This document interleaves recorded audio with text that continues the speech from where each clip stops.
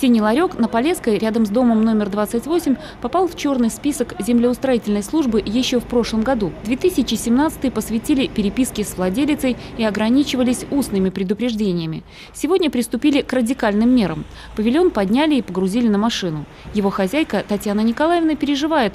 Только недавно сделала ремонт, а после всех передряг имущество может пострадать. Женщина говорит, начинала работать еще в 93-м. Тогда документы были в порядке.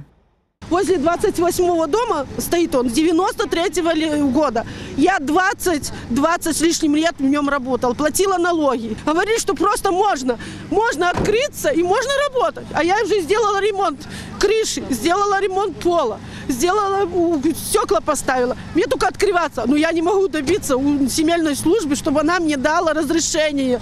Ну пускай я уже буду по-новому платить за эту землю. Но просто не говорите, что я самовольно ее захватила. Они, просто я не согласна с чем, что самовольно я захватила.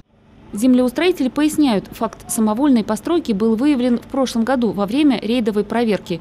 Всего за 2017 было обнаружено 10 таких фактов. Землеустроительной службой был выявлен факт самовольного занятия земель, то есть использование земельного участка без документа, удостоверяющего право на него – Гражданки неоднократно выдавались предписания, был составлен административный протокол, было дано право добровольно освободить самовольный занятый земельный участок. Однако гражданка игнорировала требования все.